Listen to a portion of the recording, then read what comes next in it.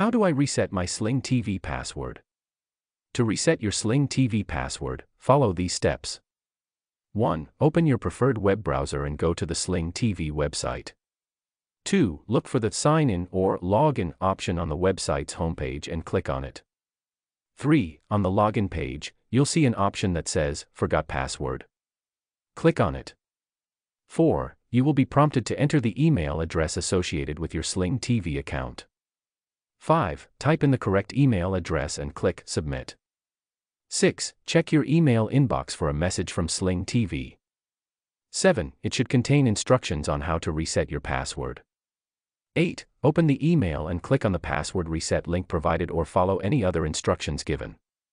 9. If the email contains a code instead of a link, go back to the Sling TV website and enter the code into the appropriate field.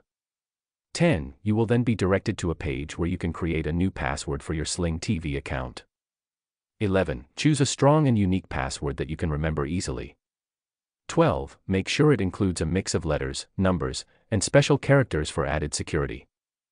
13. Enter the new password again to confirm it.